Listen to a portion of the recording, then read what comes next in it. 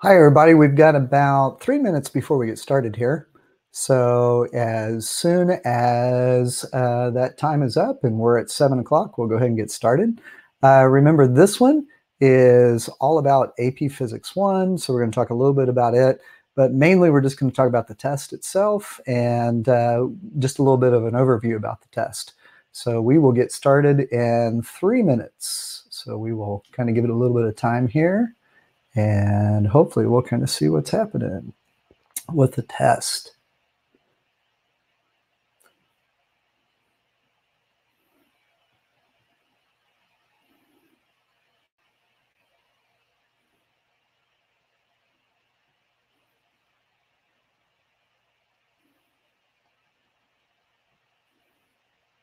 Got two minutes and we'll get started two minutes and we'll get started with the screencast here on everything you need to know about the test just in terms of an overview.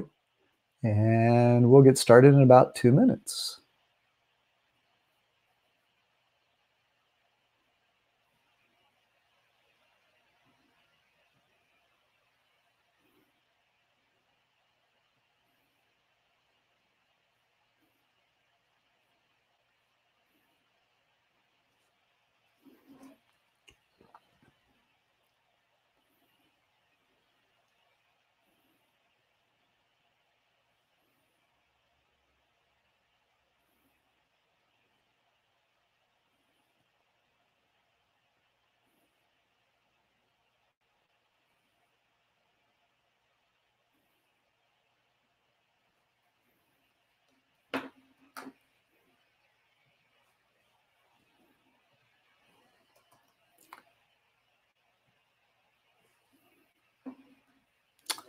And we've got about one minute and we will get started here.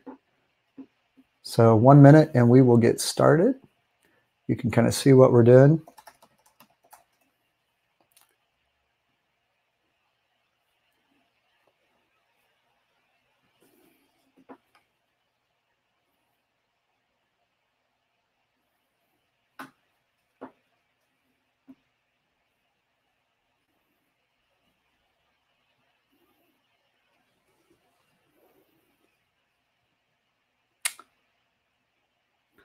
All right, we got about 30 seconds and we'll get started. Got some people joining, that's good.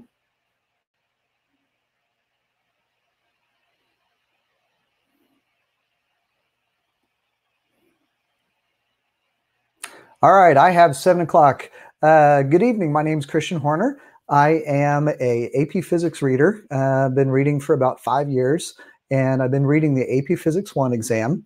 So um, I'm going to try to give you my perspective on this test and kind of what this test has become and maybe even take you through some things that'll help you on the test itself.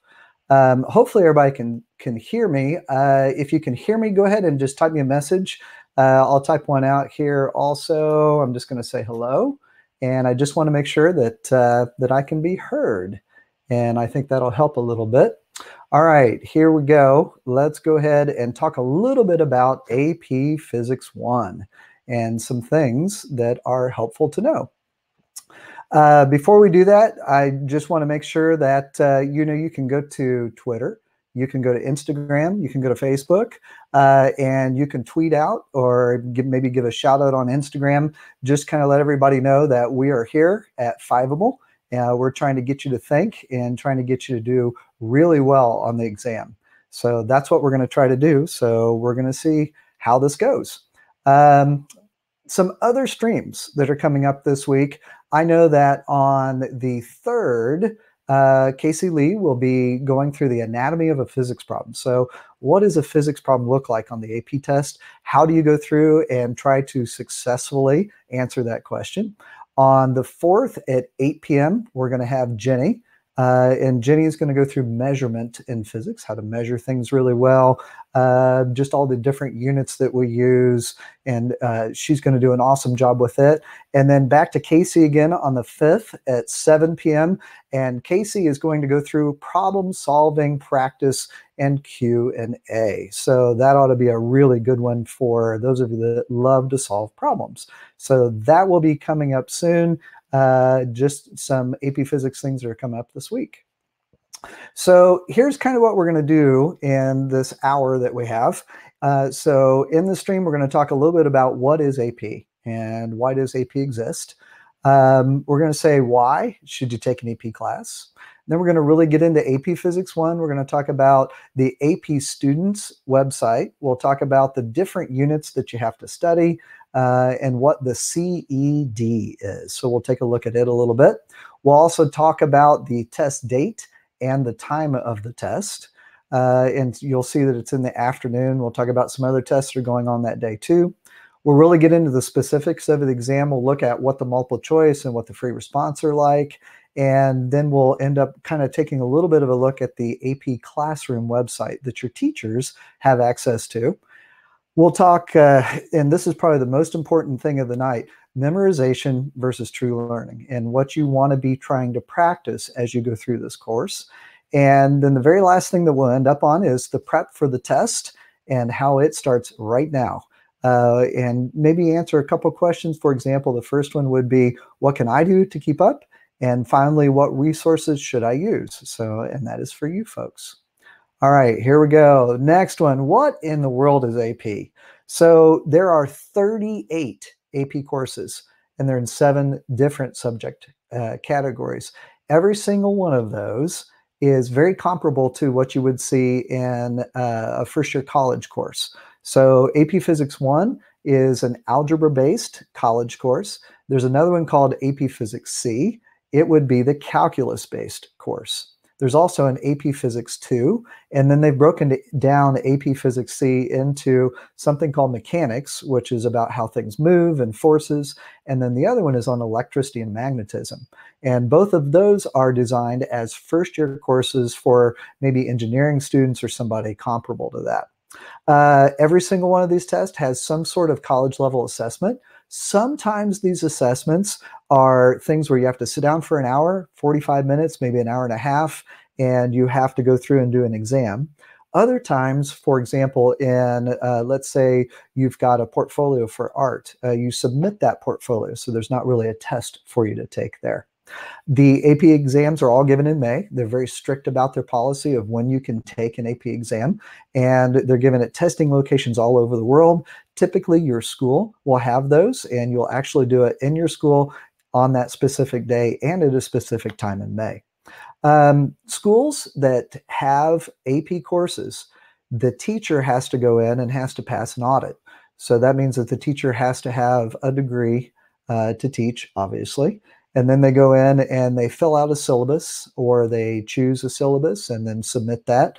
And the College Board takes a look at it. And if they feel like the teacher is qualified, then they will do that. And then once the teacher is qualified, the school also has to make sure that it is authorized. Uh, there is usually a guidance counselor or somebody at your school that uh, will be able to uh, go through that process, and they set everything up. So it's a it's a pretty pretty nice and pretty vetted process.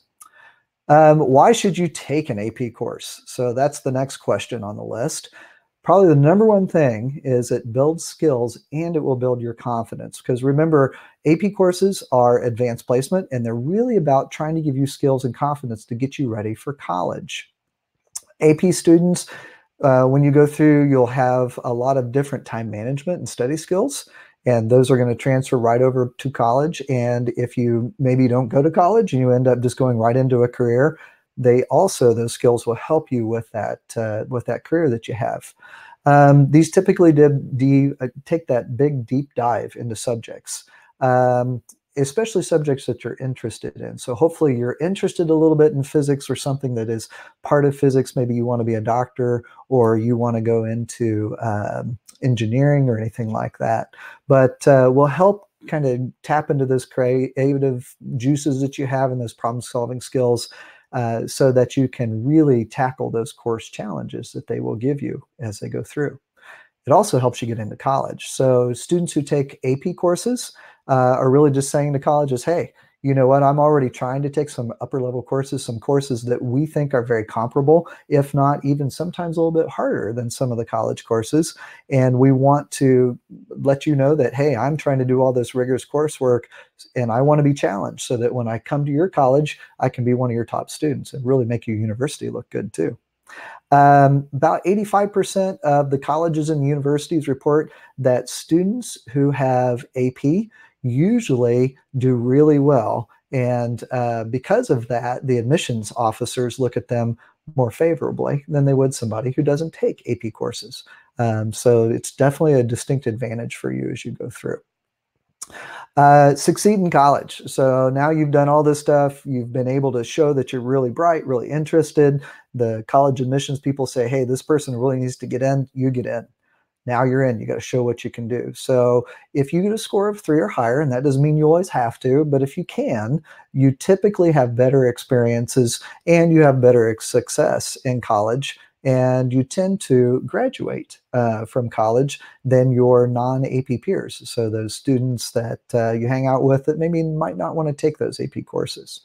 It can also save you time and money in college. And I know this firsthand because my son uh, goes to a university in Indiana here, and he has taken in, uh, enough AP courses that at the uh, midpoint of his freshman year, he actually was technically uh, somebody that was a sophomore. Um, he's actually going to graduate an entire semester early and will not have to take any summer courses. So it's been a huge, huge, huge both time saver for him and money saver for our family.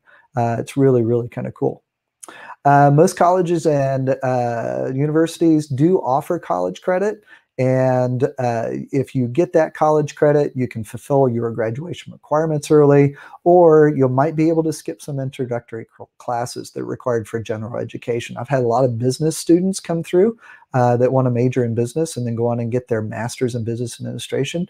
And they take AP physics because they know that it will give them some skills but also that it will meet that requirement for science uh, when they get into college. So they won't have to take their science. And it'll all be on their transcript through the AP pass score that they have. Now, the big question I think a lot of you have is which colleges give credit and how much college credit do you actually get? So it's a really simple question to answer. So probably the easiest thing to do is to go to Google and just Google it. So here's what we're going to do. We're going to go to Google. So I'm going to switch so that uh, we can all see Google here. I'm going to have to close this guy off for just a second. Oops, sorry about that. All right, so I've got Google up. Let's switch you so that we can see what's going on. Uh, here we go. So we're going to take you back to me. And now that you're on, there we go. Now we're on me. Now you're off of me. Uh, let's go back. There we go. Now let's share a different screen with you here. Um, we're going to actually go to Google. Here we go. Sorry about the delay there. First time uh, going through this. All right, now we've got Google. Let's go in and, for example, let's say that we want to go to Purdue University. So I'm going to type in Purdue uh, AP credit. And that's really all you have to do. Type in the name of the school you want to go to, type in AP, type in credit, and usually the very first link that you see will go in and it will show you what credit they give and for which courses they give it. Now, a lot of states have laws that um, will allow you to get credit, and it forces the schools to give you credit for a passing score of a three, four, or a five. So a lot of schools they uh, they don't mind doing that. And so you'll see there's a lot of different courses here that you can get credit for at uh, Purdue University in Indiana. Uh, one of those is Physics 1. So when you click on the plus screen there, you'll see that if you get a physics score of a 3 or a 4, you get physics credit at Purdue, but it's 1,000. It's 10. It's the 1,000 level credit. So this would be the um, kind of the basic course that they have in physics. If you get a five, which means that you're highly qualified, they'll give you physics 22,000 credit. Um, and that's a pretty good credit. So it's for one course. If you also take the Physics 2 exam, you would end up and get a five, you would end up with Physics 22 1 or 221 is actually what they call it. And then if you would take mechanics, you end up with um, even more credit, which is a 172 course. That's the calculus-based course. And it's really important that you see the difference between the different courses and that when you go in and talk to them when you first enroll, that they give you the right credit. So uh, definitely want to go in and take a look. Psychology is a really, really important one. Uh, most students have to take psychology in their uh, freshman year or sophomore year as a requirement.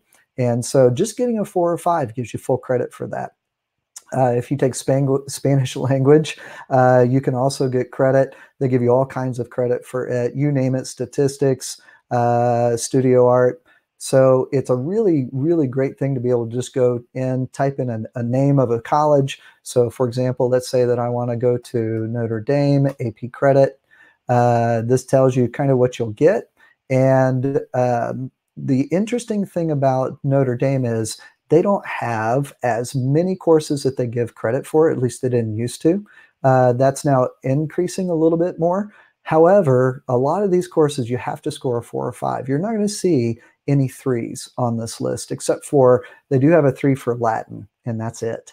So you have to score a four or five. Now, why is it that uh, Notre Dame can do that? They are a private school, and private schools in Indiana don't have to follow the law but they do want to make sure that they give you credit. Uh, Butler University is another one in Indiana that is a private institution that will not give you credit for anything except for a four or a five. Um, so it's pretty important that you understand uh, that that's kind of what it is. All right, so I'm going to close this off. Uh, let's go ahead and go back into our presentation. So we'll go back over to it and we'll keep going. Uh, let's go ahead and take a break for, here for just a second. Just make sure that everybody is good. Uh, anybody have any questions or comments at this point? We're about a quarter of the way through. All right, looks like uh, don't have any questions or anything like that, which is fine. Um, and I do have, looks like four people uh, that are sitting out there. So hello to all of you. Uh, just let me know if you have any questions or anything. I do have a couple polls that I'll have you kind of go through here in a little while and do. And that would be awesome if you don't mind doing that. All right, let's go on to the next thing. So uh, let's kind of check out the next slide here. So there is a website uh, that the College Board runs called AP Students. Uh, this is the student side of things. There's also a teacher um, place called AP Central. But the student side is really nice because you can go in there and you can learn about the exam. The other great thing about this is you can go in and you can find some old problems, and those old problems have solutions. Uh, a lot of times teachers use it, they don't tell their students, you know now. Uh, so hopefully that will help you out a little bit. But let's go ahead and go in and check it out. So I'm going to go to apstudents.collegeboard.org uh, and I'm going to open that up and then we'll take you in and have you take a peek at it. So I'm going to go back in here. We'll close off this video and we'll get it so that you can see uh, this uh, AP students. So we are in uh, the College Board website.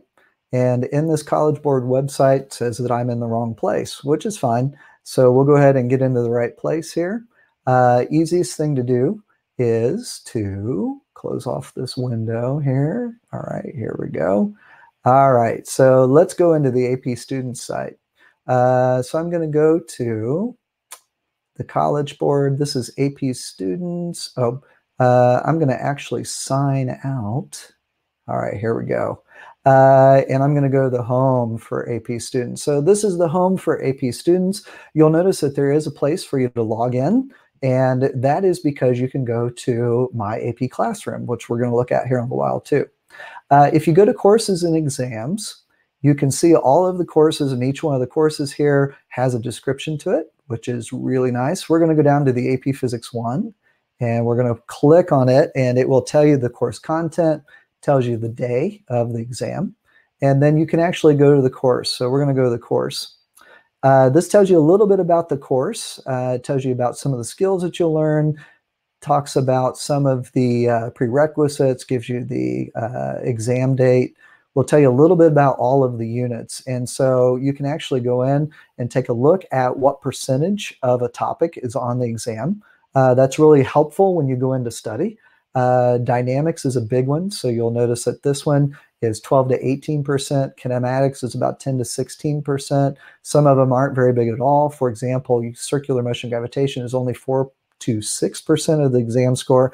However, that doesn't mean that you don't need to know it. So that's a really important thing. Uh, that's one part of the website. So this is apstudents.collegeboard.org. And the other one is all about the exam. So you can go in and you can read about the exam. They tell you how long the exam is, when it's given. Uh, but the best part of this is it tells you a little bit about both parts. Some other things that they show you is uh, doing some practice in AP Classroom. They give you some uh, questions that you can look at. And then the other thing that they do is they will tell you a little bit about uh, experimental uncertainty, talk about paragraph length. There are some equations and tables for the test that you can take a look at. So when you click on it, uh, it will bring up those equations and things. You get to use this on the entire test on both the multiple choice and on the free response. So the best thing about this is you don't have to memorize any equations. Uh, there are some that you're going to have to derive, and we'll talk about what derive means later, but that is a, a phenomenal thing for you to be able to see. Um, so if I'm going, I'm going to go ahead and go here and click see more. You're going to be able to take a look at some of these AP questions and how they're scored. And then there's another link here that will take you to all of the other questions that have been given throughout the test. So it starts in 2015, and then it actually goes all the way through 2018. Remember, 2019 was on that previous page. You can go in and you can take a look at any of the tests. So I'm going to pull up one of the tests. These are the free response questions or the questions where you have to do problems or explain things. And it goes to the first problem, asks you the question, asks you to do some things with it, and it gives all five of the questions. The other thing that's on this page are scoring guidelines. So it tells you how these tests are scored. So it gives you what we call a rubric. It tells you how as AP readers, we sit down and take a look at what you've written and how many points we can give you if you're correct. And then if you're not correct, we just don't mark any points at all. So that's the scoring guidelines. The other thing that is on this website are sample responses. Sample responses are basically just responses that we've taken from students who have taken the actual test, and we can see what they've actually written. So this student went through and wrote some things down. Uh, and then you'll notice that it, this student's work has a identification number up on the top. So you can go through, try to think about how many points that this student earned. Uh, there's a B and a C uh, student, and then it goes through and it tells you that this first student on seven points earned a six. The second student, the B student earned a four, and then the C student earned a two. Um, so just shows you the, the difference between what students write and how many points they get. So even though this student looks like that they have a lot of a lot of knowledge in physics, they really only ended up with two points. Maybe they didn't answer something correctly, they didn't read something correctly. That just happens as you go through and you're trying to go through very, very quickly on the test. Um, so those are some samples. The very last thing that you can pull up here are score distributions. And score distributions just tell you what percentage of students that year ended up with a highest exam score of a five. So the exam is scored on a five, four, three, two, one basis. Five means that you're very highly qualified, means that you know your physics very, very well.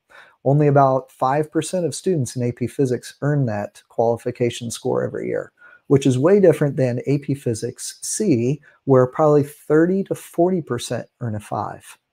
14% uh, that year earned a four, and 21% earned a three. So 60% of students in this year, in the 2016 year, so almost 40% or 67,000 students did pass the exam with a three or higher percentage. Um, the number of students total was 169,000. So well over 100,000 students didn't. Teachers are getting better at teaching this. Students are getting better at kind of figuring out what to do. So that mean score has gone up. Uh, but it is a very difficult exam, and it's not because the subject material is difficult. It's because actually performing on the test and being able to write everything down correctly is the difficult part. So we'll talk a little bit about it. And then the rest of the Five sessions will really be on how to go through and do things correctly so that when you do take this test, you have the knowledge and you have the skills that you need in order to do well. So that's a little bit about the uh, AP student site and some things that you can see there. They also talk about scores, uh, credit and placement, taking the exams, and just basically getting started.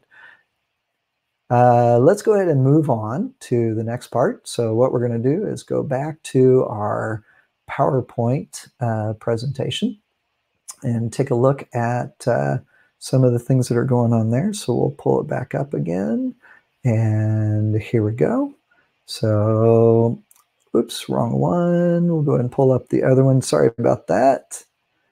All right, here we go. Test over book view, and we're back on this again. I think I closed it when we were going through trying to find things. Um, we did talk a little bit about AP students, so let's go ahead and take a look again here at the actual day and time for the test. So the actual day and time, and we'll move this so that you can see. So I'm going to close this guy off. We'll go back again. Sorry about that. And we'll go back to an application window. All right, here we go. Okay, so now we're back to where we were. Um, this is really, uh, it's a pretty long test. It takes about three hours to take. You'll be in the room for longer than that because there's a break in between. It starts at 12 p.m. your time. So wherever you are, if you're in New York or if you're in California, it will start at 12 o'clock your time. Um, the test will end about 3.30 or so your time, maybe take a little bit longer. It depends on how many students are there. This year it is on a Thursday. It has traditionally been on a Tuesday or a Monday. And so uh, gives you a, a, few more days to kind of go through some things.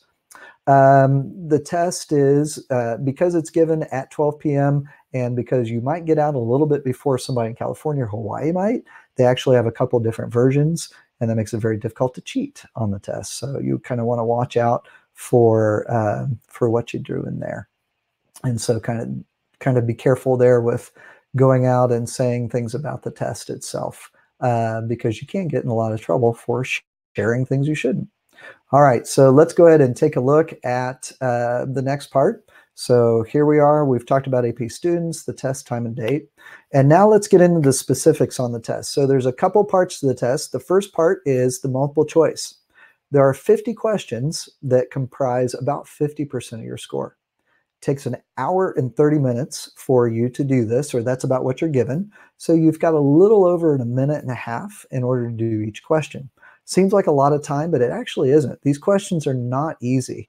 Uh, they are very deep. They are very probing questions. They're questions that, if you don't understand the material very well, uh, you're going to have a lot of trouble with that. So you want to make sure you know the material and you know the skills that you can get in and uh, do really well on the test. Um, questions sometimes are in sets, and so you'll see uh, the same diagram or data for a couple of questions. And at the very end of the test, there are multi-select questions. And that means that there's going to be two answers that are correct because there's two answers correct if you get one of the two they won't give you half credit. They will give you no, they will give you zero credit for that if you only get one of the two. You actually have to get both options correct. Um, they test your ability to go in and interpret and describe representations and models to use math to design an experiment to analyze data do all kinds of different things. But you're really just looking at making connections between what you've learned and a new way of looking at it. So that's typically what you'll see as you go through these questions. Uh, this is a good example of a multiple choice question. There are always four choices. Um, I know that on the AP Classroom, sometimes they list five, but on the actual test itself, there are only four.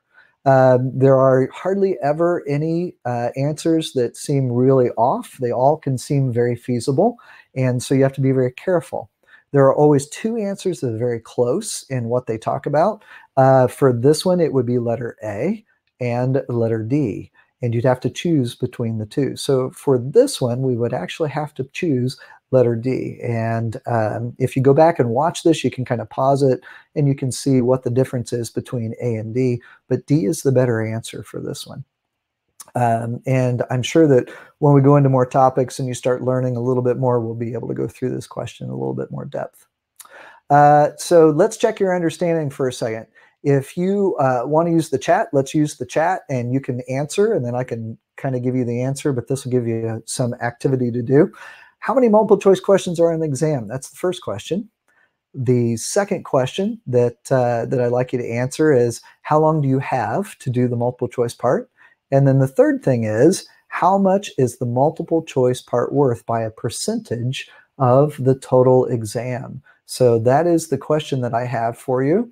And so um, let's just go ahead and do this. How about you answer question number one? So go ahead and answer question number one.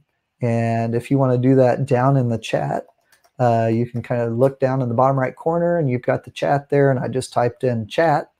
So if you're on, let's uh, have you answer those three questions. How many multiple choice are there? How long do you have to complete it? And how much uh, by percentage is the multiple choice? So we do have one person and they have answered correctly. There are 50 multiple choice questions. You do have 90 minutes or an hour and a half. That's correct. And it is worth 50% of your total exam grade. Very good. All right, let's go on to the next one. Next one is free response. So there are five questions on the free response part. You have one hour and 30 minutes again, and it's another 50% of your score. For this free response section, your credit for answers depends on how well you answer. So you have to have quality solutions, you have to show explanations, and you need to 100% show your work this is not a test where they're looking for the final answer. So if they want to know the speed of a train going down uh, some certain section of track, and they want to know how far it's going to take for it to break, and you put five meters, and that's the right answer, you probably won't get any credit. You have to show how you got there. So remember, this is a physics test. It's not just a pure math test where you're just trying to give answers. So you have to make sure that you really explain well. Uh, there are three different types of questions out of those five. The first one is called an experimental design. The second one is called a qualitative quantitative translation, where you have to justify your answer first, not using any numbers, and then also using numbers. So the qualitative is just using words, and then the quantitative is where you have to actually go in and use numbers. Then there are three short answer questions, and one of those requires you to write a paragraph, but don't freak out. It's not an English paragraph. This paragraph is actually a physics paragraph where you can use bullet points or you can use letters that you can cross off and you can go through and use those bullet points. Um, there's a specific way to do that. And I'm sure that we're going to have a uh, Fiveable session that will talk about how to best write a paragraph length response.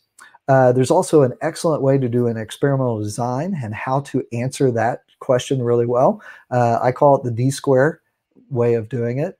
And then there's another way to answer the qualitative quantitative. So uh, come back and uh, check out those sessions and you'll kind of see how to do those really effectively. Um, these questions also do the same thing that the multiple choice do. So I want to make sure that you saw that. The free the free uh, free response question example that I have for you is one where you have to apply forces. So in a lot of these, you have to draw. And so on this block, on this little dot, you would have to draw some arrows. Uh, you would also draw some arrows on the dot over on the right. And once you draw those, there's some pretty specific things that you need to know. So as we go through a lot of these Fiveable online sessions, we'll talk about how to get points and how people lose points even though they know what they're doing because they don't really follow the directions. Um, there's a question down on the bottom that talks about derive. Uh, there's some other questions that continue to go on in this problem. And this one now wants you to go through and explain how you arrived at an answer using a different scenario. So they're not out to trick you. They're just really trying to figure out, do you understand physics at a level where you can explain it really well to a AP physics teacher? So it's not like you're explaining this to one of your friends or to one of your US history professors. It's it's actually we sit down as physics teachers and we grade your work. Um, that makes it a little bit easier to explain because there's certain things that you don't have to do. Um, let's check your understanding again. So let's kind of think about how many free response questions are on the exam. It's not one, it's not four. You're right, it's actually five. So there are five free response questions on the actual exam itself. Next question. How long do you have to complete the free, the uh, free response question part of the exam? And uh, I'll give you a second to think about that. Maybe if you want to type your response in the chat, that would be awesome.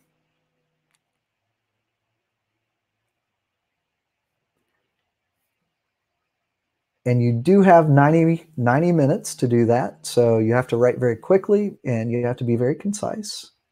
And the last question, check for understanding, is what percentage is this? So I'll give you a hint. If you remember, multiple choice was 50%. So the free response questions altogether are also 50%. So kind of an interesting thing where they make sure that those who do really well multiple choice and those who do really well just writing things out have an equal opportunity to kind of show what they can do. So that's a nice, nice way to go through and do things. Uh, how many 12 point questions are there? On this one, remember there's two 12 point questions. One of them requires you to show how to do an experiment or explain how to do an experiment.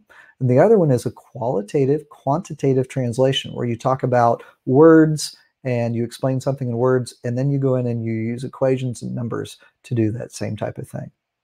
There are, uh, that's the qualitative quantitative translation. The other one is called an experimental design. And so that's really kind of a nice thing too. Uh, how many seven point questions are there? There are three, if you remember. And one of those does require you to write kind of a paragraph. We call it a physics paragraph. It's more uh, physics principles as you're going through and not necessarily an English paragraph. Task verbs is the next thing that we want to take a look at. So task verbs are things that they want you to do in free response questions. And there's a lot of differences between these. And sometimes the differences are very small. Calculate just means you're going to do a math problem, okay?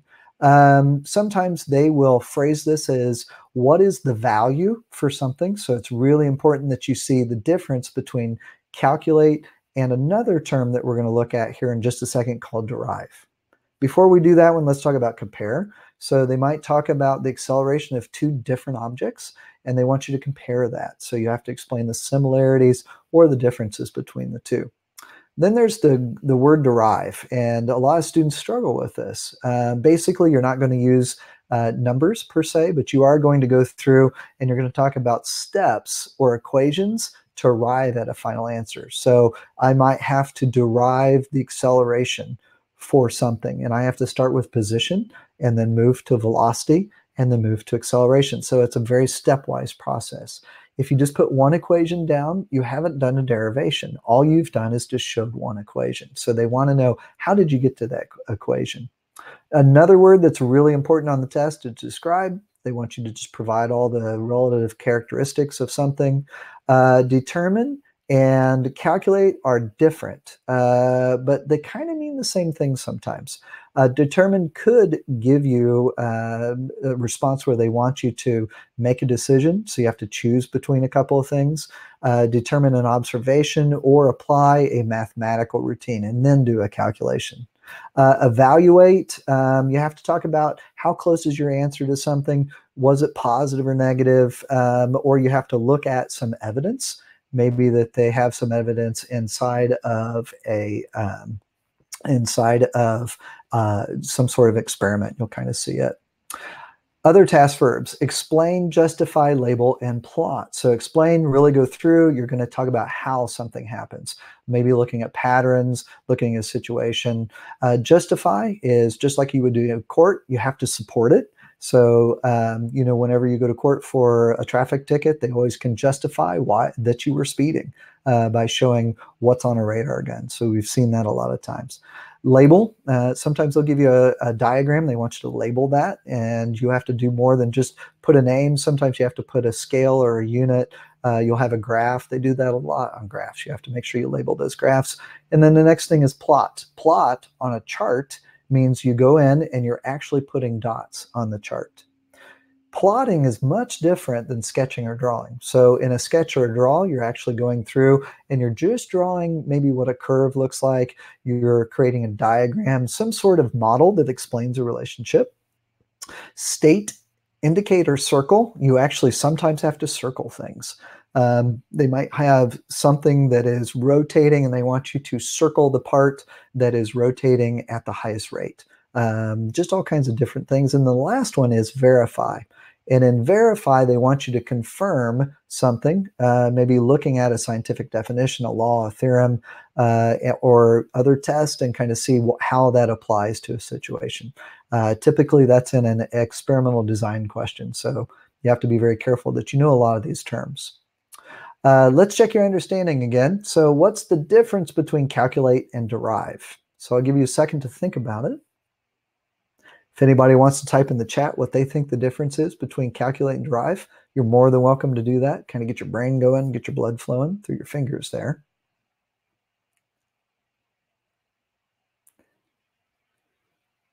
So remember, calculate means you're actually going to use numbers to come up with a final answer. But when you calculate, you need to show all your steps. You always need an equation. You always need to fill that equation in, have a number answer, and the last thing you need is a unit. Then the next one is derive. And derive means not just one equation, but you're taking a series of equations and you're showing how they relate to each other and how you come up with the final equation. So that's the difference between calculate and derive. All right, let's go to the next thing. For a graph, what's the difference between plot and then sketch or draw? So whenever you they give you the grid, and they say plot, they usually will also then give you space to put numbers, both on the X and on the Y axis, or they'll give you numbers already and you go in and just put the dots on. Sketch and draw is different. Sketches draw is basically on a graph where you'll go through and you'll either put a straight line or a curved line.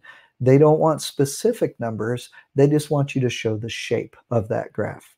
They might also have you draw on a free body diagram. So that's an entirely different meeting.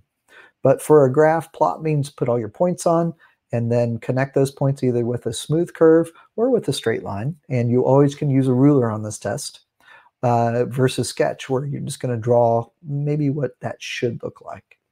So that's the difference between plot and sketch or draw. Uh, the AP Classroom website. So your teacher has access to this. Uh, it's only it's the only way for you to get registered uh, in order to, to be authorized to take the test. Uh, and some really good resources, and those resources are used to judge your understanding. So let's actually go in and take a look at what this should look like on your end of the uh, of the site. And so what I'm going to do is let's go ahead and switch over to what the AP Classroom actually looks like. So we're going to move over here and let's move to the AP Classroom website here. All right. Uh, let's make sure that we have the right one up. And here we go. So I'm going to move this over so that we can get to it. All right, here we go. So I'm going to share this screen. All righty, here is the AP Classroom website. So what I did was I went to apcentral.collegeboard.org uh, and I can go into the classroom website. So I'm going to sign in as me so that you can see what it looks like on my side. So I'm going to go in here and this is what a teacher would see. So I'm going to, and then from here I can get in and we can take a look at, oops, got to make sure you have your password and your username correct. And I think I did it again, didn't I? All right, we'll try one more time here. Yeah, here we go. Now we're going to get in. So this is the AP Classroom for me, but I'm actually going to take you into the student view so that you can see what students actually will be doing. Um, there's a week at a glance. Uh, this is Sample High School. Welcome student. Your name would be up on the top. And then the week at, a glance will give you any events or any assignments that your teacher has for you. Uh, teachers can make assignments on this and you can go in and see how you've done. I think they're really nice. Um, there are also some things called progress checks. So down here on the bottom, you'll see that there's a progress check for unit two. Uh, it's multiple choice. And then there's also a free response progress checks. So there's a lot of different things that your teachers can do. Uh, there's a full assignment list so you can see all of them. Uh, the best thing I like about this is you go on and you try to do some things. Your teacher can see how you did. You can see how you did. And from the mistakes that you make, uh, by using this AP Classroom website, you'll be able to kind of see all of the things that are going on and, and what you need to really, really work on. Uh, so it's one of the better things that the um, College Board has done. You can also take a look at the full uh, timeline, and it tells you in August uh, what you can do. You can go in and take a look at some things. Uh, different assignments are due. Um, you have to make sure that you have registered for the uh, AP test by November 1st, and so your your teacher will take you through. The other nice thing about my AP Classroom is if you're taking more than one AP class, you can go to each one of those courses by just saying filter by course. So those are some really cool things that you can end up doing. So I can go on and take a look at all of my students and kind of how they've done. We've already done a uh, kind of a unit one, uh, taking a look at how they're doing. So um, it's been nice to be able to go on and do that. So hopefully your, your teacher will end up using that um, and you can kind of take a look at it. Remind your teacher that they have that. I think that's important. Always kind of keep up making sure that your teachers are really taking advantage of a lot of the resources that they can offer. All right, so let's go back to our PowerPoint. We are about uh, 10 minutes from taking some questions that you might have. And so we'll go there here in just a little while. Uh, memorizations versus memorization versus true learning. And this is the second to last slide, but this is probably by far the most important slide out of all of them.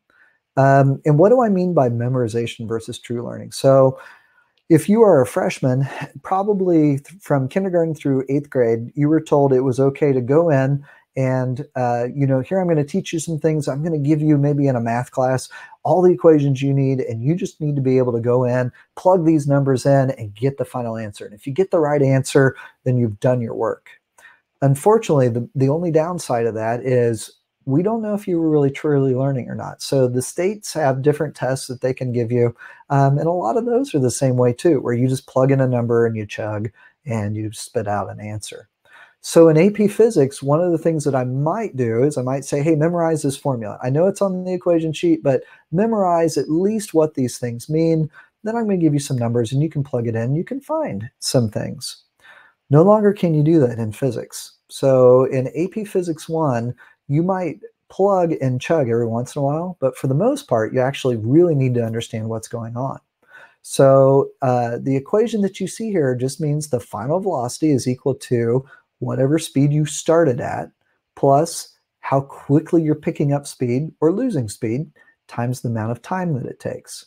So I can memorize that equation, but if I'm really truly learning it, then I'll be able to recognize some things. For example, in math, if I plot velocity, so that's what's on this axis, versus time, I can look at this first little bit right here, and I can see that the velocity is increasing.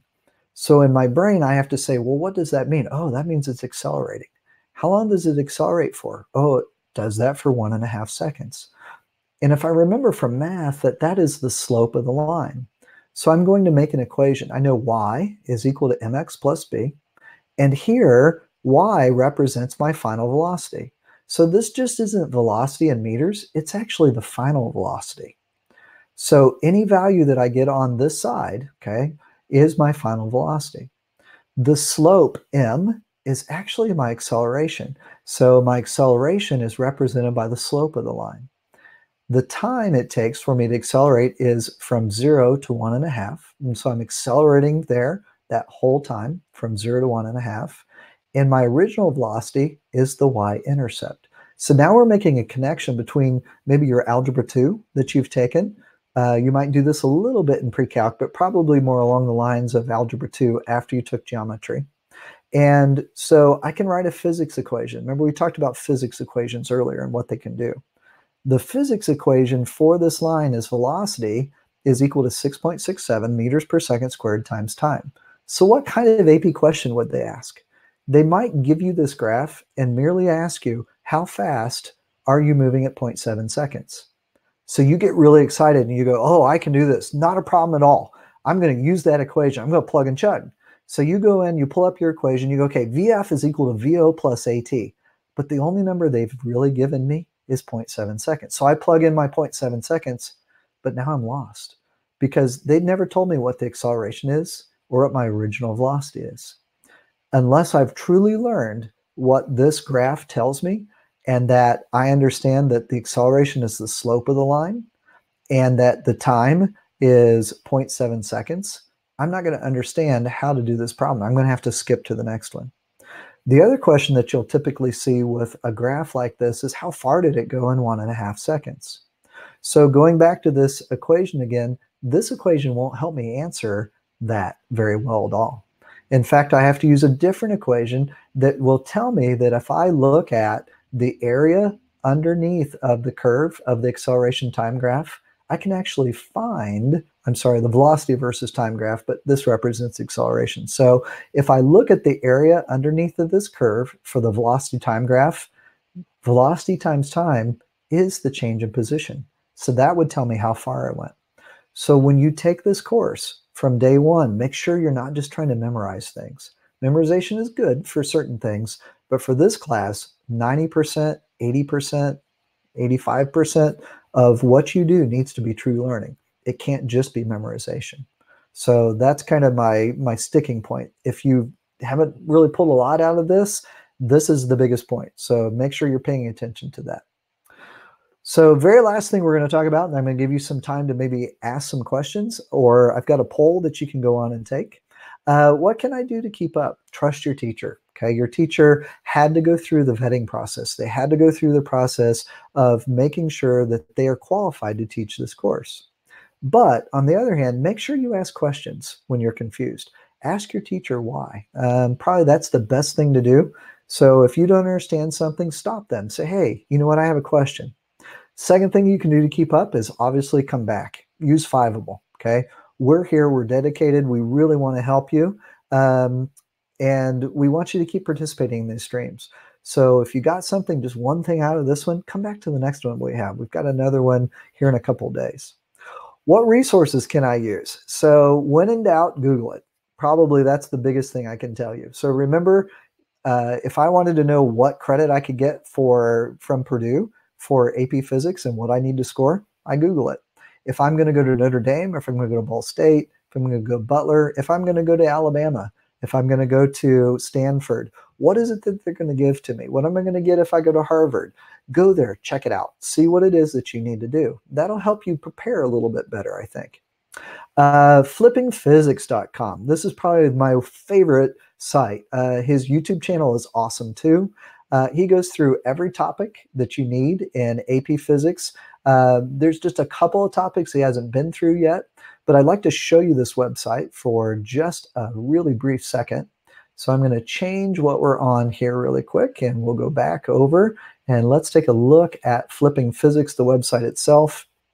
If you haven't been to Flipping Physics, please, please, please go there.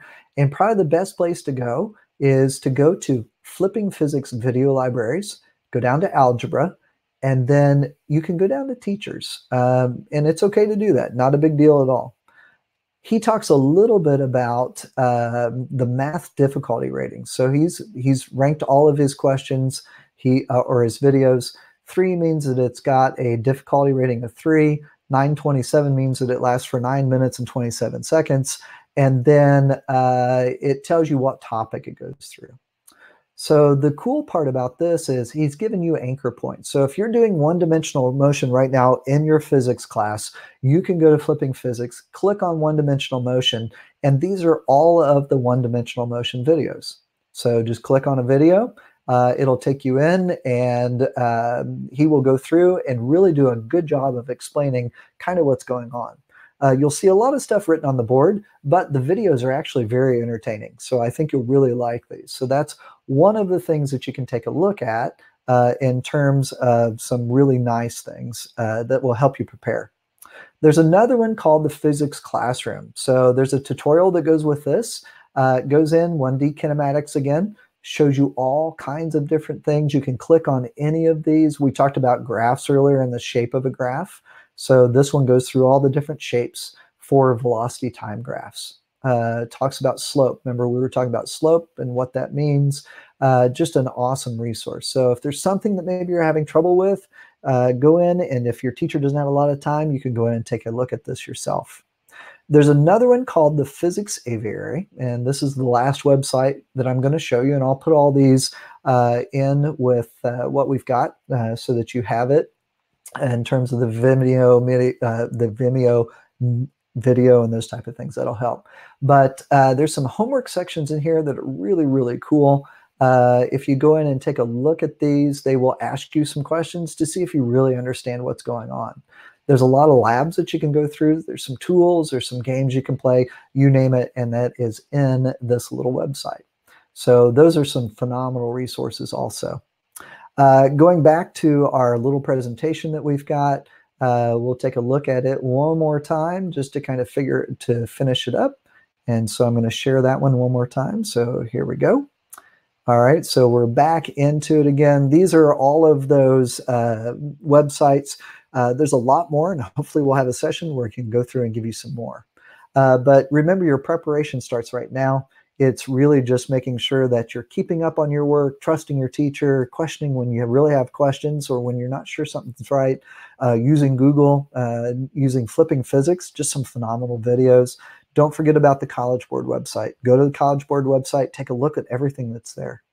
And at this point, what I'd like to do is I'm going to close this screen, which has the PowerPoint on it, and go ahead and say, hey, does anybody have any questions?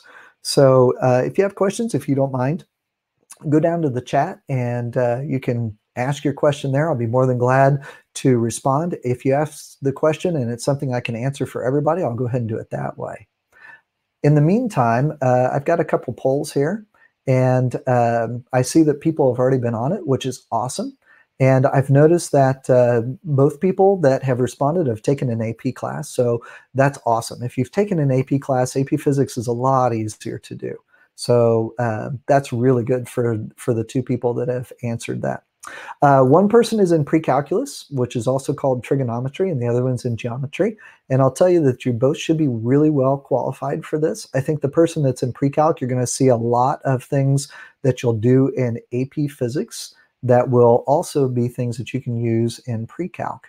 Um, algebra 2 is typically the course where there's a lot of crossover. So if you haven't had Algebra 2 yet, this class will help you when you do take Algebra 2. But uh, if you've had it already, um, you should be able to go through and just really rock a lot of things that you'll see as you uh, as you do this. So I'll kind of give you a second or two here to answer to ask a couple questions. Um, we've got about a couple minutes here, maybe two or three minutes if you have any questions. Um, we'll let you do that. Give you a couple of questions here. Anybody have any questions?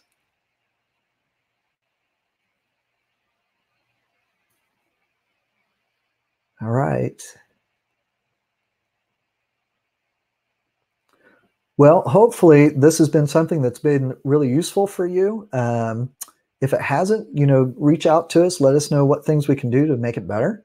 And uh, and I think other than that, we have been through 50 minutes, 55 minutes of our little time together here.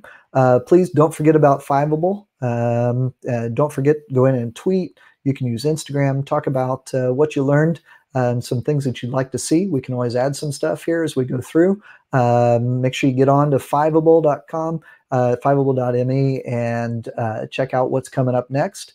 And I think that's it, and we will be done. All right, thanks everybody for showing up and learning a little bit about AP Physics. Talk to you later.